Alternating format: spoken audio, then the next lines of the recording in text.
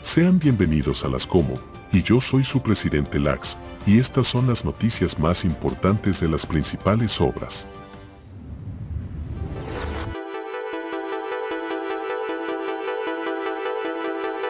El 30 de enero es el plazo para que se inicien las operaciones en la segunda pista de aterrizaje y la nueva torre de control en el Aeropuerto Internacional Jorge Chávez, sin embargo, es poco probable que se cumpla ese plazo, debido a que es necesario que se ejecuten una serie de actividades, entre ellas el entrenamiento de los controladores de tránsito aéreo en escenarios similares a los que tendrán como parte del proyecto de ampliación del Jorge Chávez y la implementación del sistema meteorológico denominado VOS, el cual conforma el sistema de aterrizaje de precisión de dicho aeropuerto. Pues bien, un programa dominical señala que no se inaugurará la segunda pista de aterrizaje. Pues la empresa Corpac, encargada de ponerlo en servicio presentaría retrasos. Y principal obstáculo para que entre en funcionamiento sería que los operadores aéreos no tendrían conocimiento operar dos pistas de aterrizaje en simultáneo. El programa señala que el único responsable de ese retraso sería el actual presidente de la empresa Corpac, quien fue nombrado en el gobierno de Pedro Castillo. Pero no solo eso, también se habría retrasado en la compra de los sistemas y todavía no se lanza a concurso ni a proceso de compra. Incluso se señala que se presenta constantemente fallas en los radares. El presidente de Corpac, Jorge Salinas, ha dicho reiteradas veces que las operaciones se iniciarán en enero de 2023, pero es imposible operar sin personal de tránsito aéreo entrenado y sin el sistema de aterrizaje instalado a plenitud. De esta forma está propiciando el incumplimiento del Estado peruano respecto al contrato que se tiene con el concesionario Lima Airport Partners. LAPI expone al gobierno a una penalización a favor del AP de aproximadamente 500 millones de dólares. Como se sabe, el 30 de enero vence el plazo que el Estado peruano le dio al concesionario del principal aeropuerto del Perú. Después de esta fecha, el Estado debería empezar a aplicar las penalidades, según contrato, pero esto no será así, pues existe un acta firmada en la gestión del sentenciando por corrupciones viceministro Luis Rivera Pérez, que deja las puertas abiertas al concesionario para aplicar las penalidades por incumplimiento del Estado peruano.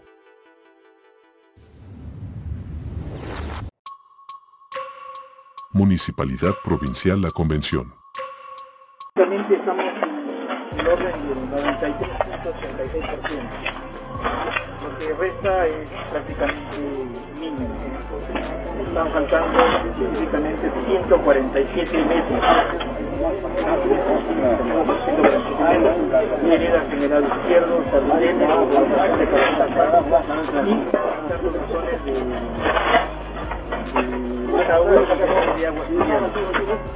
y de tenemos un plazo de ejecución los saldos que total está en el orden que supera los 800 mil soles todavía, ¿no? hay, hay una diferencia favorable entre el financiero y el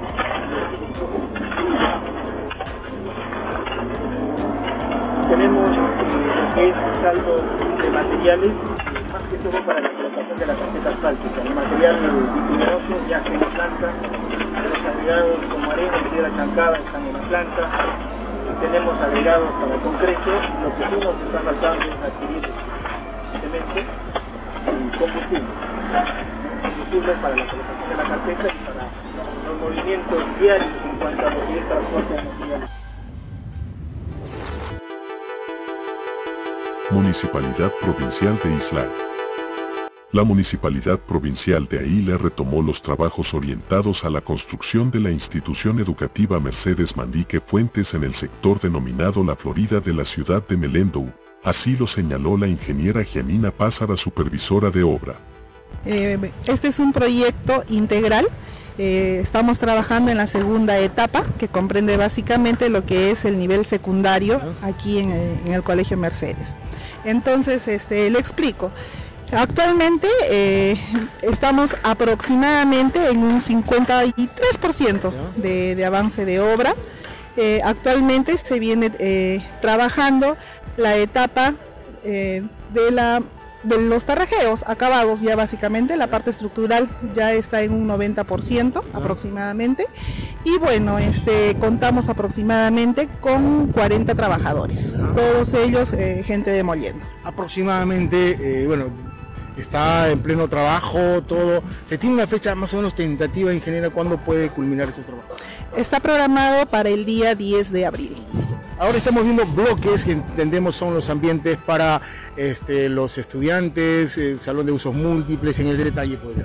A ver, tenemos eh, pabellones con aulas para los estudiantes, eh, tenemos ambientes de biblioteca, eh, una sala Zoom, multimedia, eh, laboratorios para los chicos, eh, también un área de ingreso para atención a los padres de familia, eh, una losa deportiva y los pasadizos en común, ¿no? Para, toda, para todo el ambiente y los... Esta institución educativa tenía decenas de años y estaba en un estado totalmente deplorable. Definitivamente con esos trabajos va a ser de primer nivel.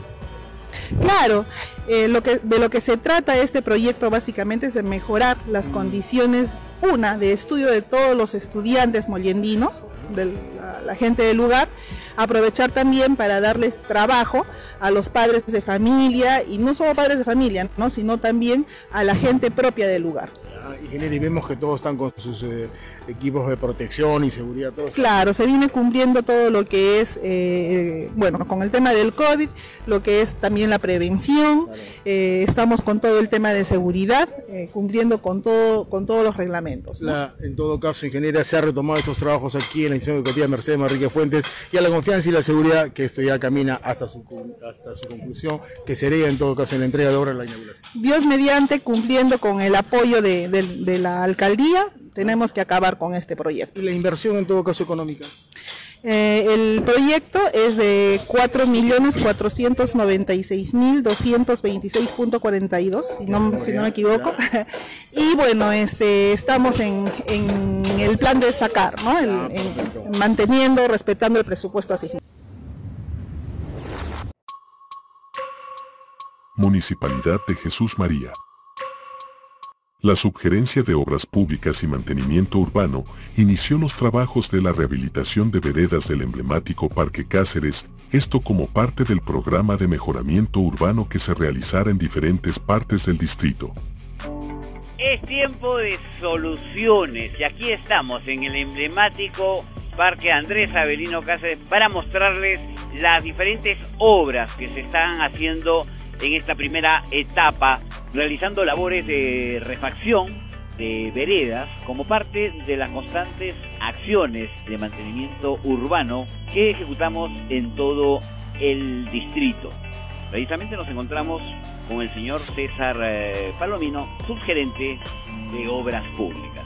Mira, hemos iniciado la rehabilitación para poder de ahí pasar ya a los diversos espacios públicos, parques, veredas, paseos peatonales de tal manera que podamos darle al vecino la tranquilidad para que pueda transitar de manera conveniente.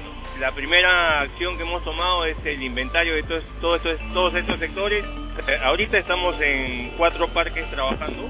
Estamos coordinando con el área de limpieza pública y áreas verdes, verdes para de manera sostenible trabajar no solamente en la infraestructura peatonal, sino la parte de jardinería, árboles y esas cosas estamos hablando de 30 parques, eh, tiempo establecido.